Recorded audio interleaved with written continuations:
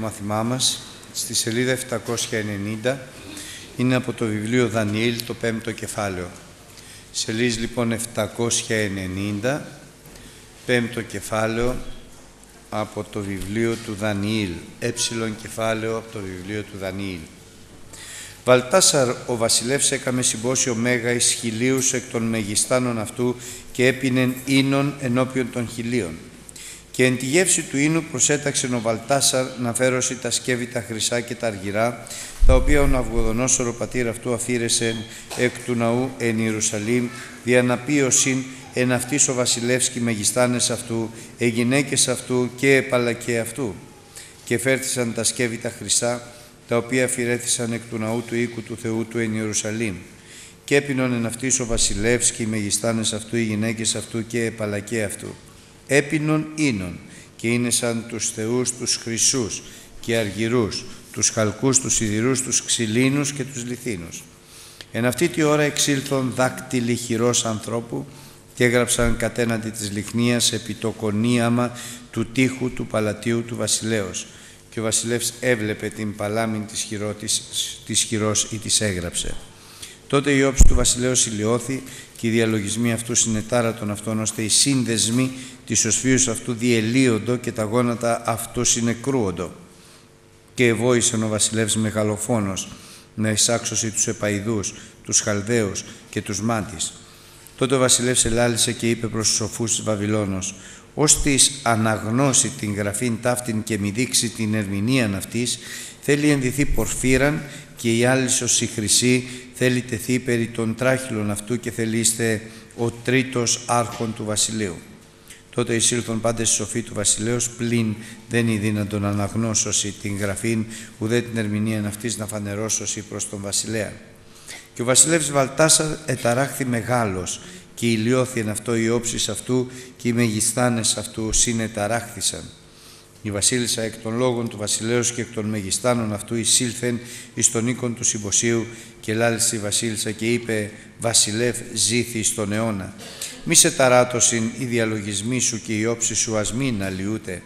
Υπάρχει άνθρωπος εν, το βασιλείο σου, εις τον οποίον είναι το πνεύμα των Αγίων Θεών και εν τες ημέρες του πατρός σου φως και σύνεσης και σοφία, όσοι σοφία των Θεών ευρέθησαν εν αυτό τον οποίον ο βασιλεύς Ναυγοδονόσορο πατήρ σου, ο βασιλεύς ο πατήρ σου κατέστησεν άρχοντα των μάγων, των επαϊδών, των χαλδαίων και των μάντεων, διότι πνεύμα έξοχων και γνώσης και σύνεσης και ερμηνεία ενυπνίων και εξήγησης ενηγμάτων και λύσεις απορριών ευρέθησαν εν αυτό το Δανιήλ, τον οποίον ο βασιλεύς με τον όνομασε Βαλτασάσαρ.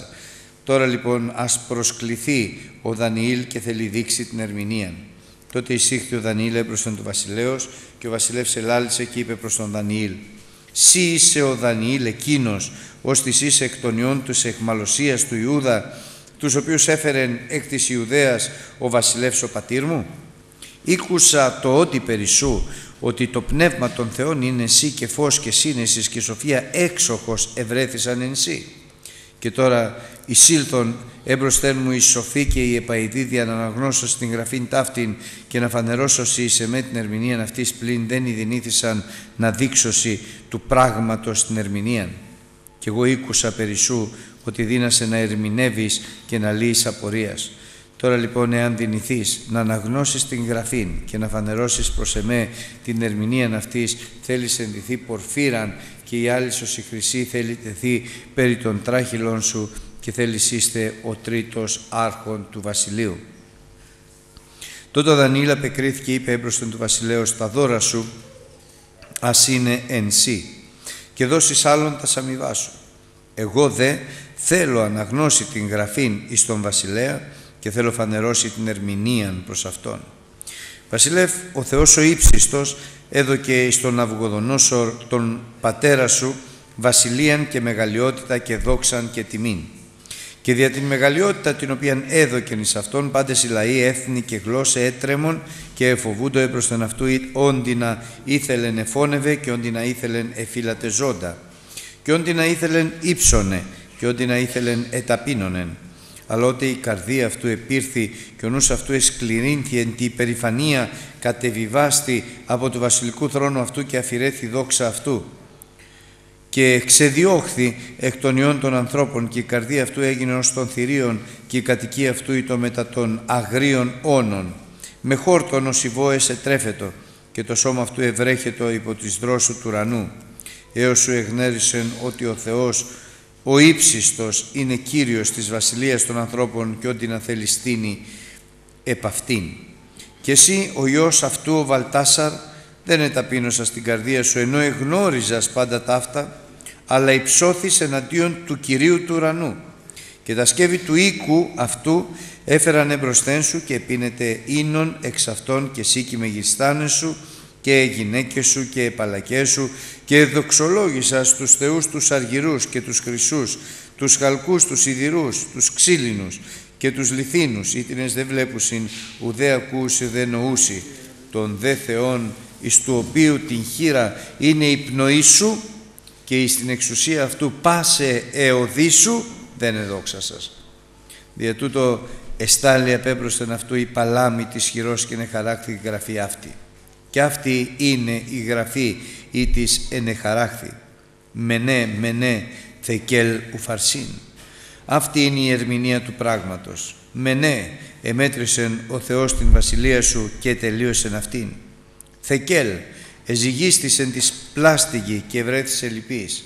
Φερές, διηρέθη βασιλεία σου και δόθη εις τους Μίδους και Πέρσας. Τότε προσέταξεν ο Βαλτάσαρ και ενέδισαν τον Δανιήλ την Πορφύραν και παρέθηκαν την Άλισον τη Χρυσήν περί των τράχυλων αυτού και διακήρυξαν περί αυτού να είναι ο τρίτος άρχον του βασιλείου. Την αυτήν νύκτα εφωνεύθη ο Βαλτάσαρ ο βασιλεύς των Χαλδαίων και Δαρίος ο Μίδος έλαβε την βασιλείαν ον περίπου ετών εξήκοντα δύο. Αμήν. Η αυτοκρατορία των Χαλδαίων έχει φτάσει στο αποκορύφωμα της δόξης. Πέθανε ο Ναυγοδονόσορ, βασίλεψε ο γιος του, τώρα βασιλεύει ο εγγονός του ή ο πρώτος ή ο το, το δυσέγγονό του, δεν ξέρουμε καλά την ιστορία και το όνομά του είναι Βαλτάσαρ. Όμως αδερφοί αγαπητοί στον Ναυγοδονόσορα, ο Θεός είχε δείξει ότι μετά την δική του αυτοκρατορία θα έρθει η αυτοκρατορία των Μίδων και των Περσών. Και το σχέδιο του Θεού θα πραγματοποιηθεί και κανένας δεν μπορεί να το εμποδίσει. Και το σχέδιο του Θεού έχει αρχή, τέλος, περιόδων. Άρχισε με τον Αυγοδονόσορα, θα τελειώσει με τον Βαλτάσαρα. Και ξέρετε, αγαπητά μου αδέλφια, το σχέδιο του Θεού και στην προσωπική μας ζωή έχει αρχή και τέλος. Όλα στη ζωή μας έχουν αρχή και τέλος. Γεννιόμαστε για να πεθάνουμε. Τα παιδιά μας γεννιόνται, μένουν σπίτι μας μέχρι που φεύγουν. Όλα έχουν μία αρχή και ένα τέλος. Το σχέδιο του Θεού δεν αλλοιούται δεν θα επικρατήσουν οι Πέρσες και οι Μύδοι επειδή ο Βαλτάσαρ είναι αδύναμος ή επειδή αυτή είναι δυνατή. Δυνατή. Θα επικρατήσουν γιατί το θέλει ο Θεός. Γιατί το έχει προγραμματίσει ο Θεός. Πάσα αρχή και εξουσία είναι άνωθεν. Ακόμη και σε δημοκρατικές διαδικασίες η Γραφή γράφει ότι ο κλήρος ρίπτεται αλλά η απόφαση είναι από το Θεό. Πόσο σημαντικό είναι να βεβαιωθεί η ψυχή μας ότι τα πάντα είναι στα χέρια του Θεού. Πόσο σημαντικό είναι να βεβαιωθούμε ότι η πνοή μας είναι στα χέρια του Θεού. Η ζωή μας. Ο άνθρωπος λέει ζει εξήκοντα, ενευρωστία εβδομήκοντα αλλά η ζωή σου, η πνοή σου είναι στα χέρια του Θεού. Άλλο ζει 40 χρόνια, άλλο 100. Πόσο σημαντικό είναι να ξέρουμε ότι όλη η οδή της ζωής μας, η πορεία μας, οι αποφάσεις μας είναι ενώπιον του Θεού. Δεν είναι μόνο ότι προσδιορίζει τη ζωή μας σε λεπτομέρεια, αλλά γνωρίζει και την πορεία μας και ακόμη περισσότερο αδερφοί αγαπητοί γνωρίζει και τις προθέσεις μας ερευνά καρδίες και νεφρούς. Πόσο σημαντικό είναι να τα ξέρουμε όλα αυτά. Να ξέρουμε ότι δεν μπορούμε να κρυφτούμε από το Θεό. Ότι οι λεπτομέρειες όχι απλώς της ζωής μας, των σκέψεών μας είναι ενώπιον του Θεού. Και έρχεται ο Λόγος του Θεού να μας ενημερώσει και να μας πληροφορήσει μη λυπείτε το Πνεύμα το Άγιο δια του οποίου εσφραγίστητε για την ημέρα της απολυτρώσεώς σας. Τι ωραία που είναι το τέλος να είναι η απολύτρωσης. Και τι τραγικό θα είναι το τέλος να είναι η απώλεια. Ο Θεός να μας φυλάει. Γι' αυτό αδερφοί αγαπητοί, μακάρι λέει ο Λόγος του Θεού, οι φοβούμενοι των Κύριων πάντοτε. Οι άμομοι, οι περιπατούντες εν τη οδό αυτών. Αγιασμός και καθαρότητα είναι το κύριο χαρακτηριστικό που ο Θεός θέλει.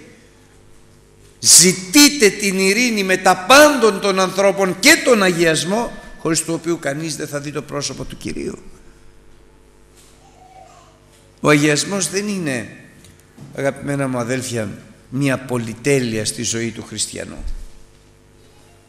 Είναι μια ανάγκη, καθαρότητα, στη σκέψη, στην επιθυμία, στην απόφαση, στην ε, πορεία αλλά και στα έργα μας. Πόσο άφρον είναι ο άνθρωπος ο οποίος θα πει δεν πειράζει θα πάω να αμαρτήσω, θα μετανοήσω και θα ξανάρθω. Άφρον. Πολλοί μας λένε εσείς το έχετε βρει. Πηγαίνετε στην εκκλησία και όταν πάτε στην αμαρτία μετά λέτε θα πάω να μετανοήσω και τελείωσε. Πόσο ψέματα είναι αλλά και πόσο επικίνδυνη σκέψη είναι αυτή. Είναι ψέματα και επικίνδυνη σκέψη. Πρώτον, εάν κάνεις αυτή τη σκέψη, ήδη είσαι μέσα στην αμαρτία. Ήδη εμίχευσας λέει εν την καρδία σου. Δεν είναι να πας στην αμαρτία, είσαι στην αμαρτία. Και ο άνθρωπος ο οποίος είναι στην αμαρτία δεν είναι στη βασιλεία των ουρανών. Αλλά ευχαριστούμε τον Θεό γιατί αυτές τις σκέψεις, τις πονηρές, δεν τις αφήνει ο Θεός να φτάσουν στην καρδιά μας, αλλά έρχεται και με το Λόγο Του να τις καταστρέψει, αλλά και με τη δύναμη του Πνεύματος του Αγίου να τις κατακάψει. Τις καίει η αμαρτία είναι βδέλιγμα για μας, συχαινόμαστε την αμαρτία. Τον αμαρτωλό τον αγαπάμε, την αμαρτία τη συχαινόμαστε. Με τον αμαρτωλό βέβαια δεν μπορούμε να συγκάνουμε, μπορούμε μόνο να το ομολογήσουμε. Δεν μπορούμε να έχουμε παρέα αδελφική, φιλική, συγγενική με τον αμαρτωλό μέσα στην αμαρτία. Αλλά με τον αμαρτωλό τον αγαπάμε, τον αμαρτωλό τον αγαπάμε, προσευχόμαστε για αυτόν, το ομολογούμε, αν χρειαστεί τον ελέγχουμε, αλλά σε καμία περίπτωση δεν είναι η κοινωνία μας, η παρέα μας, η φιλία μας. Για να καταλάβουμε πόσο όμορφο είναι αυτό το χαρακτηριστικό των χριστιανών και μας το λέει και ο Λόγος του Θεού είναι σαν το προβατάκι. Είναι το γουρούνι το οποίο απολαμβάνει την αμαρτία, τη λάσπη, το βούρκο και όσο και να το πλύνεις θα ξαναπέσει μέσα αλλά είναι και το προβατάκι που λίγο να λερωθεί δεν το αντέχει. Πρέπει να τη βγάλει από πάνω του την αμαρτία. Αλλά είναι και ο άνθρωπος ο άνθρωπος δεν γυρίζει με λαδιές βρώμικος, αξίριστος και προσέξτε αδερφοί αγαπητοί ο διάβολος θέλει τον άνθρωπο βρώμικο, αξίριστο, άθλιο. Αν δείτε τα παιδιά τα καημένα που έχουν μπλέξει με τα ναρκωτικά, ούτε να πληθούν μπορούν, ούτε και θέλουν. Αλλά μου κάνει εντύπωση ότι πόσο εντύπωση μου κάνει, λέω, πόσο πονηρός είναι ο διάβολος. Ξέρετε ότι υπάρχουν μοναστήρια που απαγορεύουν στους καλόγερους και στις καλόγριες να πλένονται για να μην σκανδαλιστούν και μπαίνεις μέσα και βρωμάει ο τόπος. Φοβερό. Είναι ο διάβολος που δεν θέλει την καθαρότητα. Ενώ ο Χριστός τι λέει, θα είστε λελουμένοι με είδωρ καθαρόν όταν θα πλησιάσετε το Θεό. Όταν θα γονατίσετε να προσευχηθείτε, όταν θα λάβετε μέρος στην κοινωνία, στην, κοινωνία, στην κλάση του άρτου. Καθαρότητα στο σώμα, στην ψυχή και στο πνεύμα.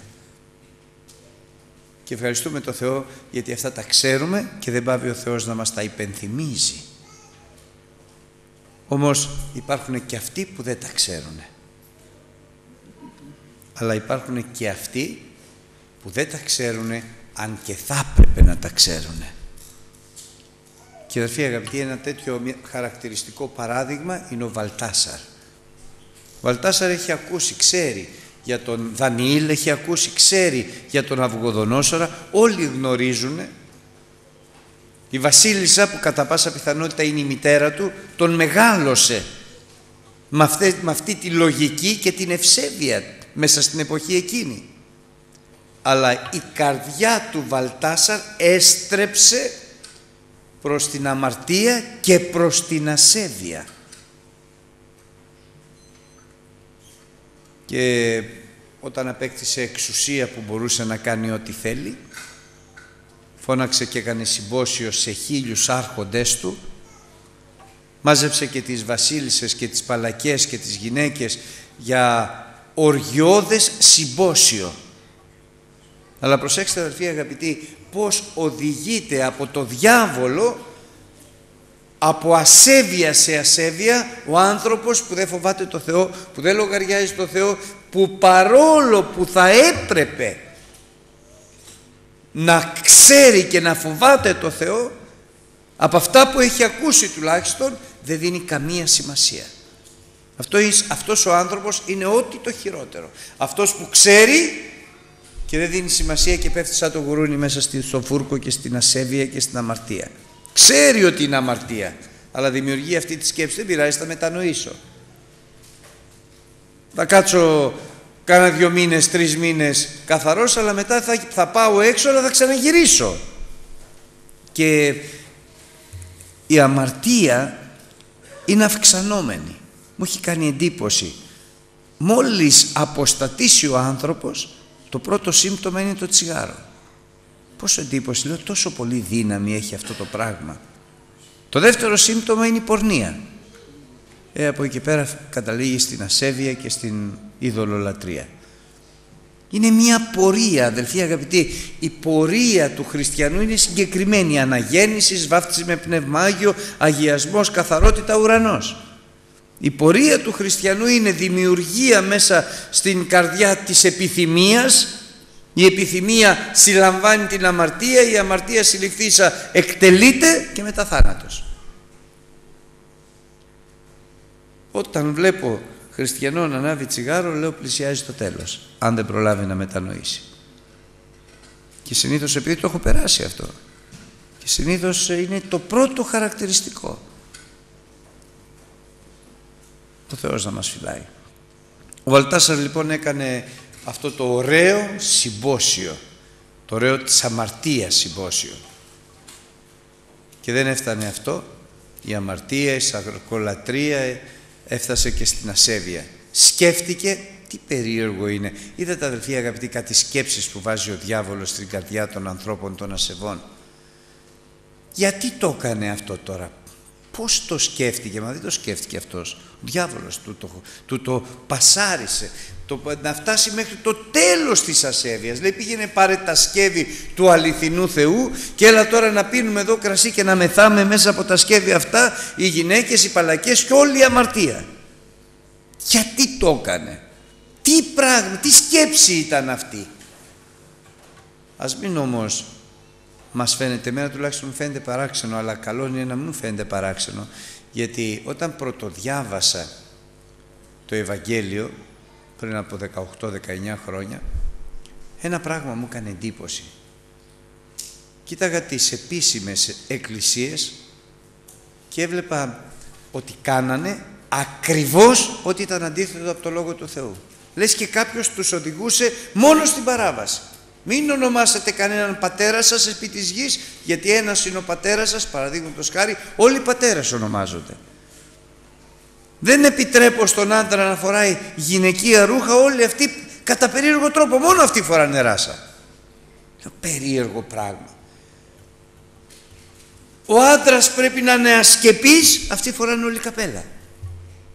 Μυστήριο πράγμα λέω.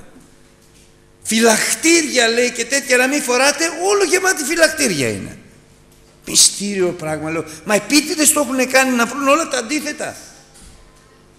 Μην κάνετε λέει μακριές προσευχές, πρωτοκαθεδρίες, όπου πρωτοκαθεδρία αυτή μέσα. Περίεργο πράγμα. Βλέπετε αδερφοί αγαπητοί, οδηγεί το Πνεύμα το Άγιο την Εκκλησία Του είναι χοντρό αυτό που λέω αλλά είναι αλήθεια και οδηγεί το Πνεύμα το πονηρό τις δικές του συναθρήσεις Θεός να μας συγχωρέσει και να μας φυλάξει αλλά είναι αλήθεια και μόνο αυτά δεν, δεν πρέπει να ξαναπαντρεύονται οι άνθρωποι τρεις φορές λέει μόνο γιατί τρεις και όχι τέσσερις; Ε, λες καλά λες, γιατί και τέσσερις. Και γιατί τέσσερις και όχι πέντε; Ε, λέει όσες θες, άντε τέλειωνε. Αυτόματο και όσες θες. Γιατί κατοικονομίαν. Τι θα πει κατοικονομίαν; Κατοικονομίαν. Ναι, αλλά τι θα πει κατοικονομίαν; Ε, κατοικονομίαν. Ε, κατοικονομίαν. Τι να κάνουμε κατοικονομίαν. Τι να κάνουμε τώρα, θα χαλάσουμε. Ο άντρας πρέπει να έχει κοντά μαλλιά. Να κάτι κοτσίδες μέχρι την πλάτη.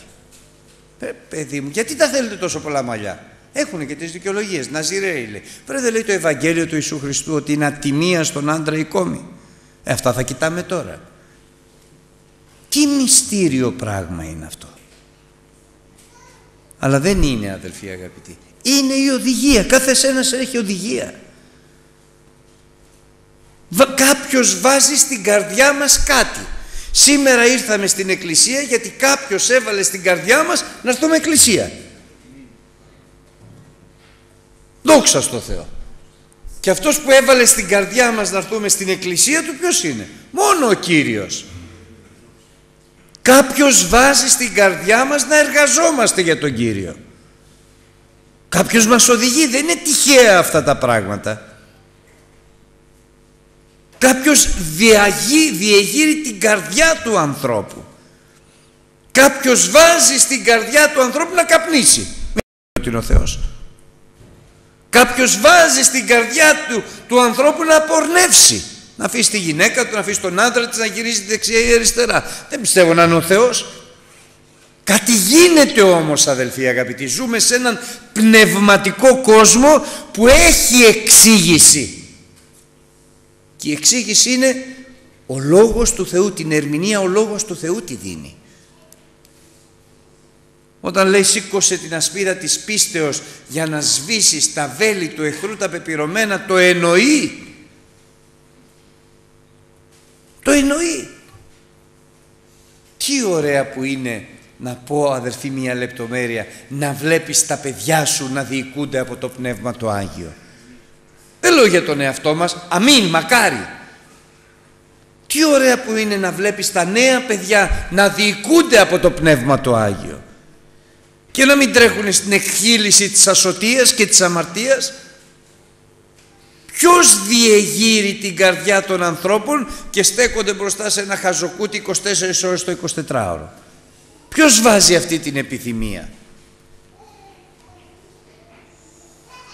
Ποιος έβαλε αυτή την επιθυμία στο Βαλτάσαρ να φτάσει σε αυτό το ύψος, το μέγεθος της ασέβειας; Φέρτε εδώ τα σκεύη. Μα πού τα ήξερε ότι υπάρχουν, πώς το σκέφτηκε. Ο διάβολος είναι αδελφοί που διεγείρει τους ασεβείς στην αμαρτία. Ο διάβολος είναι που σκληραίνει την καρδιά των ανθρώπων των υπερηφάνων. Ο διάβολος είναι που πλανάει τις καρδιές των ανθρώπων που δεν αγαπάνε την αλήθεια. Και μ' αρέσει αδελφοί αγαπητοί ένα εδάφιο που λέει στη δεύτερη επιστολή προς Θεσσαλονικής ο Απόστολος Παύλος, ακούτε τι λέει.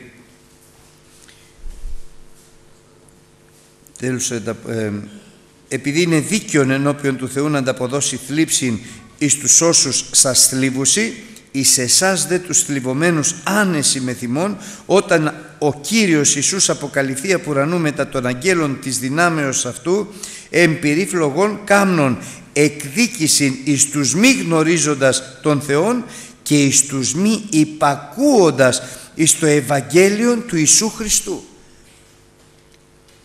Το ξέρουνε το Ευαγγέλιο. Και δεν μπορούν να δικαιολογηθούν ότι δεν μπορούν να το υπακούσουν γιατί δεν θέλει τη δύναμή τους ο Θεός. Είναι ότι δεν θέλουν να, την να το υπακούσουν και ακόμη λέει αδερφοί αγαπητοί και δια τούτο θέλει πέμψει ο Θεός ενέργεια πλάνης μεταξύ των απολυμένων διότι δεν εδέχθησαν την αγάπη της αλήθειας δια να σωθώσει. Δεν δέχονται την αγάπη της αλήθειας. Δεν τη δέχονται. Όχι ότι δεν τη θέλουν, δεν, δεν την θέλουν. Όχι ότι δεν μπορούν να αγαπήσουν, δεν μπορούν να δεχθούν την αλήθεια. Δεν την θέλουν την αλήθεια. Και στην επιστολή προς Ρωμαίους είναι ωραία εδάφια αυτά που μου έχουν κάνει πάρα πολύ μεγάλη εντύπωση. Λέει «Η οργή του Θεού αποκαλύπτεται από ουρανού επί πάσα ασέβειαν και αδικίαν ανθρώπων ήτινες κατακρατούσει την αλήθεια εν αδικία». Κρύβουνε την αλήθεια μέσα στην αδικία. Από εκεί και πέρα διοικούνται από κάποιον το διαβάζω, το ξαναδιαβάζω. Τι του ήρθε αυτού του ανθρώπου τώρα να πάρει τα σκεύη του οίκου του Θεού να πίνουν κρασί οι παλακές του; Το έκανε όμως. Το έκανε. Αλλά στην ασέβεια ο Θεός δεν αδελφοί αδιαφορεί. Και ενώ πίνανε και γλεντάγανε και δοξάζανε τους ψεύτικους θεούς Ξαφνικά λέει η Γραφή εξήλθον δάκτυλοι χειρός ανθρώπου και έγραψαν κατέναντι της λιχνίας επί το κονίαμα του τείχου του παλατίου του βασιλέως. Ξέρει μια, ένα παλάμη και έγραφε εδώ απέναντι. Κάτι έγραφε.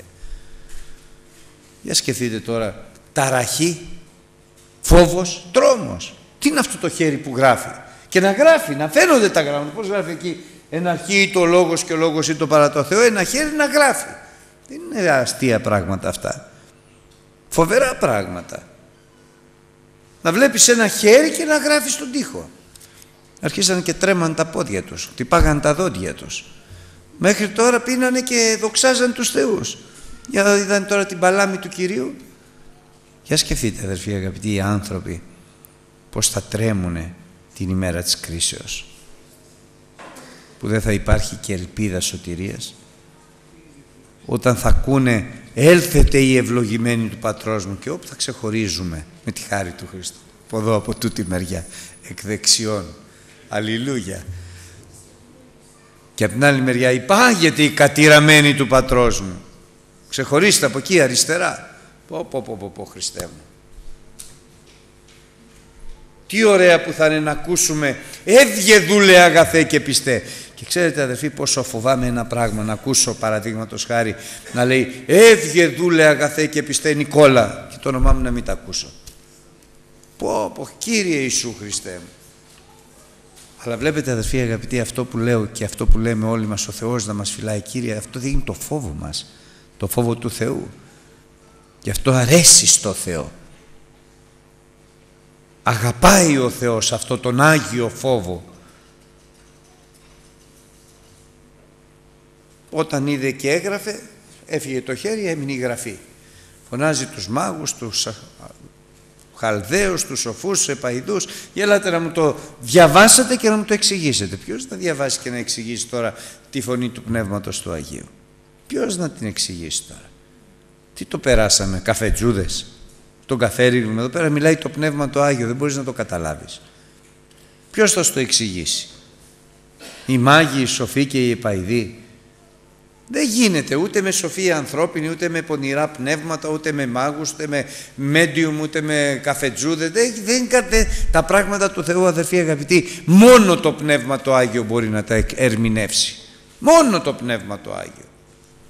Όταν λοιπόν αποδείχθηκε η τέλεια αδυναμία μέσα στο φόβο της ασέβειας, αυτός είναι φόβος κόλασης.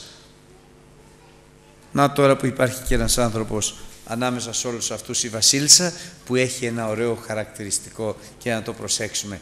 Δεν ήταν μέσα στο συμπόσιο. Τι ωραία αδερφοί.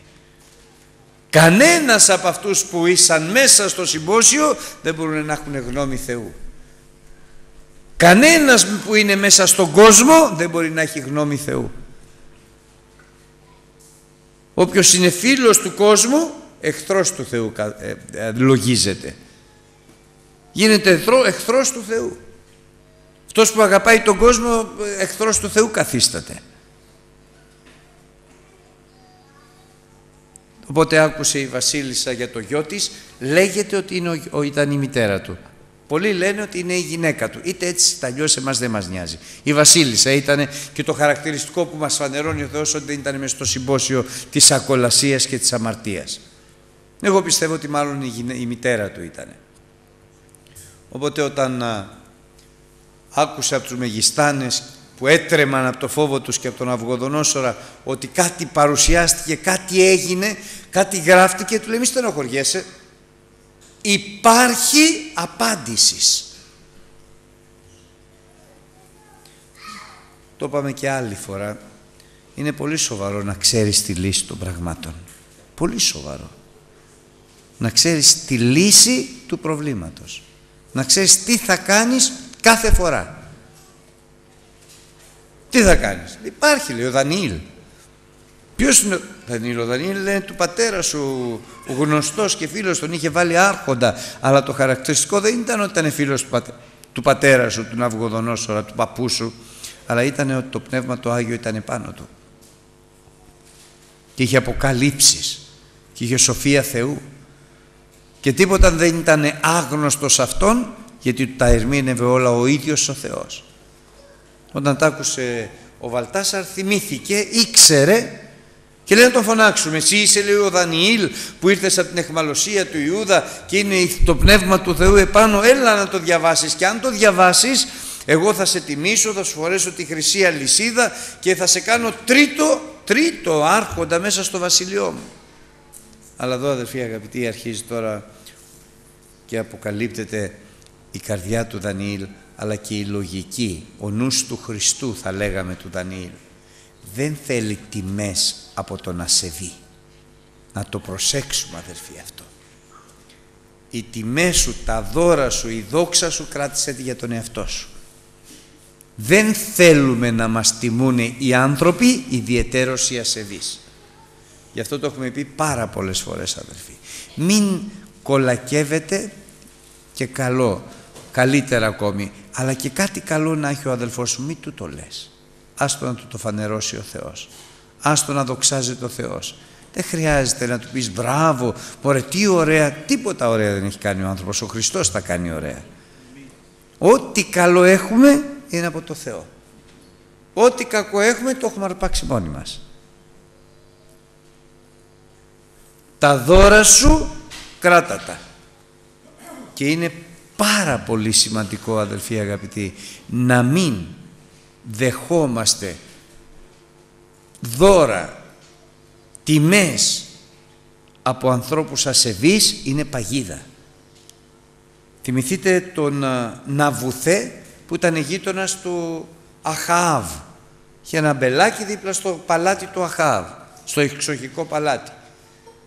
Είμαι γείτονας με τον βασιλιά. Και ο βασιλιάς καλός τον ε, τιμή. Λέει θα μου δώσει λέει το αμπελάκι σου. Όχι λέει δεν στο δίνω είναι η κληρονομιά του πατέρα μου. Στενοχώρια. Πήγε σπίτι του λέει η Εζάβελ μη στενοχωριέσαι λέει θα το ακτοποιήσουμε το θέμα. Στέλνει ένα γράμμα λέει κάντε μια θυσία προσφορά και βάλτε στην πρώτη θέση τον Αβουθέ. Βάλτε δίπλα δύο ανθρώπους απατεώνες να ορκιστούν ότι κατηγόρησε το Θεό και το Βασιλιά και λιθοβολήστε τον και τελειώσαμε. Τόσο απλά. Και ο Ναβουθέ ήταν πιστός αλλά δέχτηκε την τιμή. Δηλαδή στην πρώτη θέση θα σε βάλουμε. Κοιτάει, οι απαταιώνες του το λέγανε. και το δέχτηκε. Μη δέχεσαι αδελφέ. Είναι παγίδα. Ούτε συγχαρτήρια, ούτε τιμές, ούτε δόξες ανθρώπινες μη δέχεσαι.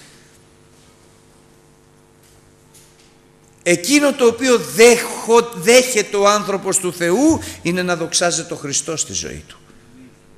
Μη δέχεσαι. Συγχαρτήρια, μπράβο σου. Εσύ να λες από μέσα σου και σε ευχαριστώ Κύριε. Δόξα να έχει το όνομα του Κυρίου. Ούτε τιμές, ούτε συγχαρτήρια, ούτε δώρα από ασεβείς, τίποτα. Ξέρετε πότε ευλόγησε ο Θεός τον Αβραάμ; Όταν ε, ελευθέρωσε το Λότ και μαζί ελευθέρωσε και τους άρχοντες των Σονδόμων και των Γομόρων και έρχεται ο βασιλιάς και λέει τι δώρα θες να σου δώσω, πάρ' τα όλα. Και είπε ο, ο Αβραάμ κάτι που να το βάλει ο Θεός στην καρδιά μας. Να το βάλει. Ούτε τίποτα δεν θα πάρω από σένα. Μην τυχόν και πεις ότι εγώ τον πλούτησα τον Αβραάμ. Εμένα τον Αβραάμ θα με πλουτίσει ο Κύριος. το να πω ότι να σου δώσω το δικαίωμα ασεβή να μου πεις ότι με βοήθησες. Δεν θέλω τη βοήθεια του ασεβούς. Θέλω βοήθεια από τον Κύριό μου και από τον Θεό μου. Και όταν το είπε, ήρθε ο Μελχισεδέκ και του έδωσε άρτο και ίνο. Και όταν έφυγε και ο Μελχισεδέκ, ήρθε ο Κύριος και του λέει «Αβραάμ, εγώ είμαι ο υπερασπιστής σου». Αλλήλογια. Εγώ είμαι ο υπερασπιστής σου. Γι' αυτό αδερφοί αγαπητοί, όχι να μην δεχόμαστε, ούτε να επιθυμούμε, ούτε να σκεφτόμαστε. Ξέρετε πόσο επικίνδυνο είναι να σκέφτεσαι να πεθάνει η γιαγιά σου για να την κληρονομήσεις. Όποιος λέει να πεθάνει κάποιος πρώτος πεθαίνει. Να το φοβόμαστε αυτό. Μην πεις ποτέ να πεθάνει να τον κληρονομήσω και ενδυνεύεις. Δεν θέλουμε να κληρονομήσουμε κανέναν. Την κληρονομιά του Θεού θέλουμε εμείς. Καμία κληρονομιά δεν θέλουμε. Και επίσης η πονηρή σκέψη.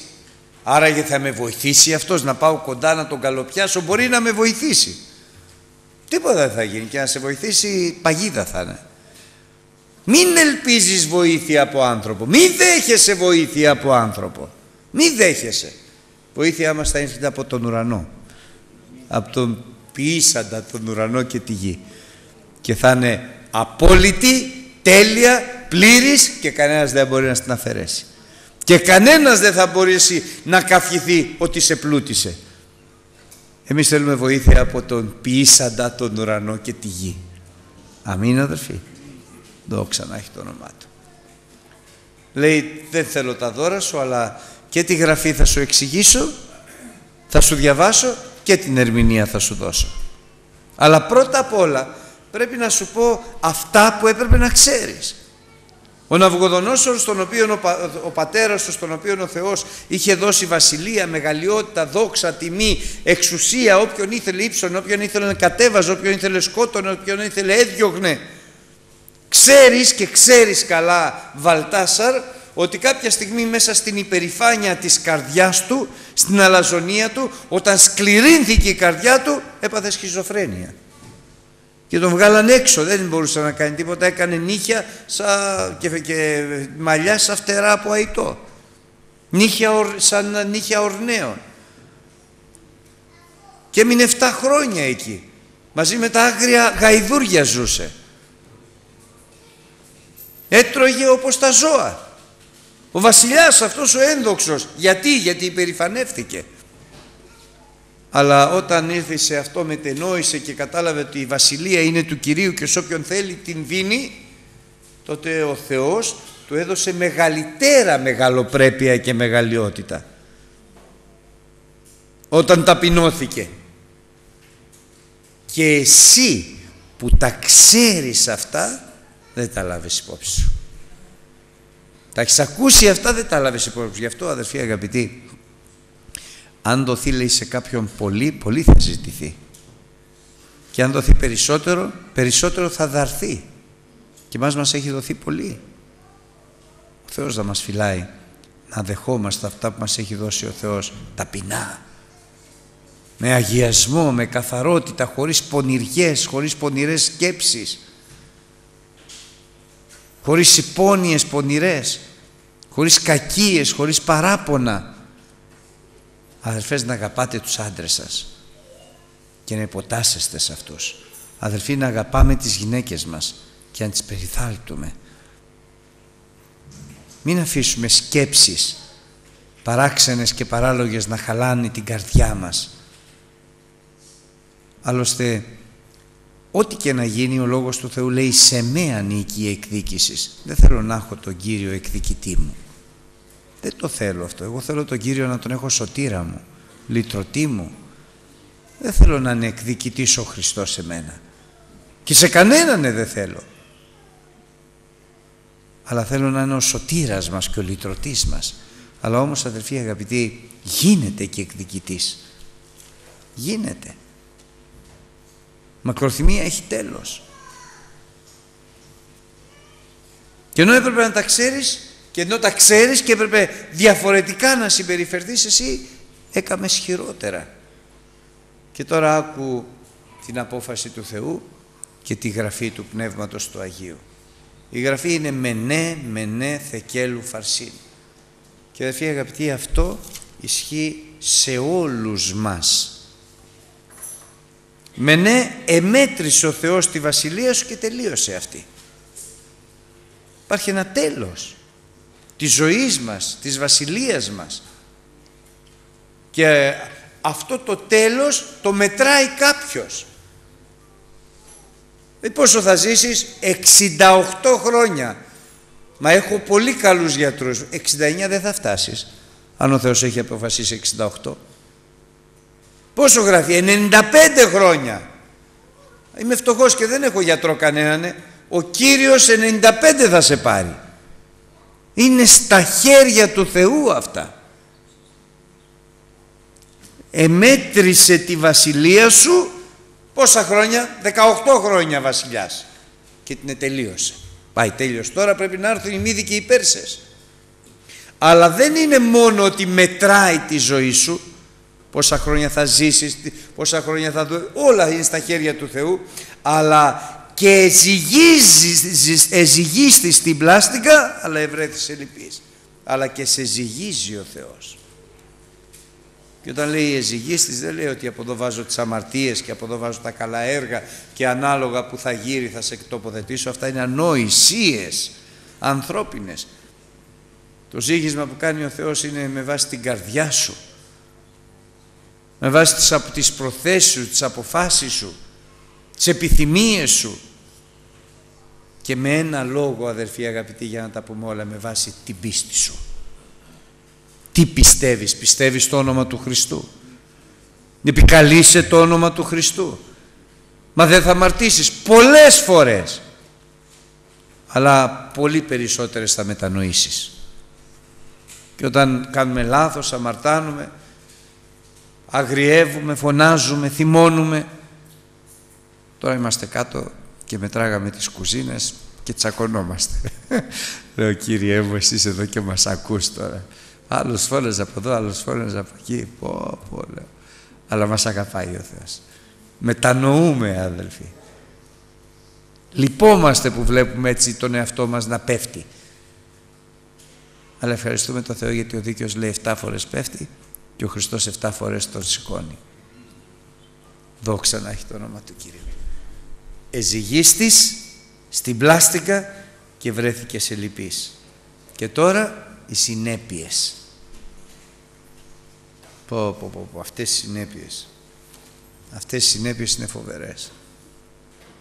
Έλθετε η ευλογημένη του Πατρός μου, δόξα στο Θεό. Υπάγεται η καταραμένη του Πατρός μου. Πω, πω, πω, πω, πω, πω. Οι συνέπειες. Η βασιλεία σου διηρέθη. Την έχασες. Εδόθη εις τους Μύδους και στους Πέρσας. Τελείωσε. Για σκεφτείτε αδερφοί αγαπητοί, πώς ξεκίνησε το συμπόσιό του και πώς τελείωσε. Μία νύχτα. ξεκίνησε χίλιους ανθρώπους, ε, φαγητά, κρασιά, ε, δοξολογία στους ψεύτικους θεούς, αμαρτία, γλέντι. Ξέρετε πως τέλειωσε. Τρόμος και εκείνη τη νύχτα τον σκότωσα. Κύριε Θεέ μου, τι νύχτα ήταν αυτή; Αλλά αδερφοί αγαπητοί να σας πω κάτι, μία τέτοια νύχτα είναι για όλους μας μπροστά μας. Μία τέτοια νύχτα που θα έρθει το τέλος. Αλλά τι ωραία που να είναι η αρπαγή αυτό το τέλος. Ε, αλληλούια, δόξα στο Θεό. Να ξεκινήσουμε ολονυχτία και να ακουστεί η σάλπιγγα. Τι ωραία νύχτα. Δεν είναι πολύ ωραία. Δεν ξέρω αν μπορούμε να το ζητήσουμε του Θεού, αλλά να πούμε στις 15, όχι ότι ξέρω την ημέρα της αρπαγής, έτσι, βγάλετε και ψευτοδιδάσκαλο, να πούμε στις 15 Μαρτίου θα έχουμε ολονυχτία. Και να έρθουμε εδώ πέρα και νηστεία κιόλας. Πω, πω, πω, πω. Και να έρθουμε αγωνατίζοντα να μας επισκεφθεί ο Θεός και μπορεί να έχουμε και νηστάξει, δεν πειράζει. Και να μας μιλάει το πνεύμα το άγιο και ξαφνικά να ακουστεί σάλπιγγα στις 4 το πρωί. Αλληλούια. Ε, μια τέτοια νύχτα θέλω να είναι η τελευταία μου νύχτα, αδερφοί. Μια τέτοια νύχτα θέλω να είναι η τελευταία μου νύχτα. Μια νύχτα ολονυχτίας, δοξολογίας, ευλογίας, κόπωσης, δεν πειράζει, αγώνα, δεν πειράζει και να ακουστεί η σάλπιγγα του Θεού. Τι νύχτα ήταν αυτή για τον καημένο τον Βαλτάσα. Γλέντια, αμαρτία, δόξα στους ψεύτικους θεούς και λέει η ιστορία, διάβασα, ότι ενώ ήσαν εκεί μέσα, μπήκανε η, ο Περσικός στρατός από μία α, είσοδο, κρυφά, και πριν καταλάβουν τίποτα τους είχαν πιάσει τον ύπνο και τους είχαν σκοτώσει όλους. Φοβερό είναι αδερφοί. Η ιστορία δεν γράφει βέβαια για την παλάμη του Πνεύματος του Αγίου, γράφει για το τέλος. Αλλά το, ο Λόγος του Θεού γράφει πριν το τέλος. Τρομακτική νύχτα. Και κοιτάξτε αδελφοί, η ζωή αυτού του ανθρώπου πρέπει να ήταν πολύ εύκολη. Παλάτια, βασιλιάς, ό,τι ήθελε το είχε, όποια αμαρτία ήθελε την έκανε, αλλά εκείνο που έχει σημασία είναι το τέλος. Δεν πρέπει να έχει έλλειψη αυτός, νέος άνθρωπος ήταν. Ούτε αρρώστιες, ούτε τίποτα. Ξέρεις τι θα πει να είσαι βασιλιάς στους Χαλδαίους την εποχή εκείνη; Πα, πα, πα, πα, πα, πα. Και να είσαι και υγιής και να είσαι και νέος και δυνατός και λεβέντης. Αλλά μενέ μενέ θεκέλ φαρσίν. Πω, πω, πω. Ε, μετρήθηκε η βασιλεία σου, ζυγίστηκε στη Σάλπιγγα, τέλειωσε η ζωή σου, πάπαλα, που λένε και τα παιδιά. Τελειώσαμε. Εκείνη λέει τη νύχτα μπήκαν οι Πέρσες και τον εσκότωσαν. Πιο μπροστά του φόρεσε εκεί είδατε αδελφοί πόσο άχρηστα είναι από τους ασεβείς τα δώρα. Του φόρεσε τη χρυσή αλυσίδα, φώναζε είναι ο τρίτος βασιλιάς για ένα, για, για ένα τέταρτο. Ένα τέταρτο, να τη βάλει του σκοτώσαν. Ε, πάπαλα, τελείωσε. Τον κάνανε τρίτο άρχοντα, τον ύψωσε εκεί πέρα, μπήκαν οι Πέρσες, πάει ο... Του μείνε η αλυσίδα του Δανίλου. Αλλά ευχαριστούμε τον Θεό, αδελφοί αγαπητοί, γιατί ο Δανίλ δεν τελείωσε. Δεν έχει μετρηθεί η βασιλεία του στο τέλος. Θα, μετα, θα πάει πίσω στο, στην Ιερουσαλήμ. Τώρα είναι ο Δαρίος βασιλιάς. Θα πεθάνει και ο Δαρίος. Θα έρθει ο Κύρος αλλά όταν θα έρθει ο Κύριος θα τον στείλει στην Ιερουσαλήμ. Κοντεύουν τα 70 χρόνια και ο Δανιήλ στα γεράματα είναι πάλι νηστεία και προσευχή. Και προς το τέλος, όπως θα διαβάσουμε, θα καταλάβει ότι τα 70 χρόνια έφτασαν και ήλθε ο καιρός της επιστροφής. Τι ωραία ζωή του Δανιήλ. Τι ωραία ζωή μέσα στην εχμαλωσία. Όμως πριν τελειώσουμε να σας πω κάτι αδερφοί. Από τότε που πέθανε ο Ναβουγοδονόσορ τον οποίον, ο οποίος τιμούσε το Δανιήλ Μέχρι το βασιλιά το Βαλτάσαρ ο Δανιήλ ήταν διάλειμμα. Ήτανε, τον αποξενώσανε, τον βάλανε στο ψυγείο που λέμε εμείς οι άνθρωποι, έμεινε εκεί και ο Θεός τον έβαλε. Δεν, δεν βλέπουμε να τον χρησιμοποιεί ο Θεός.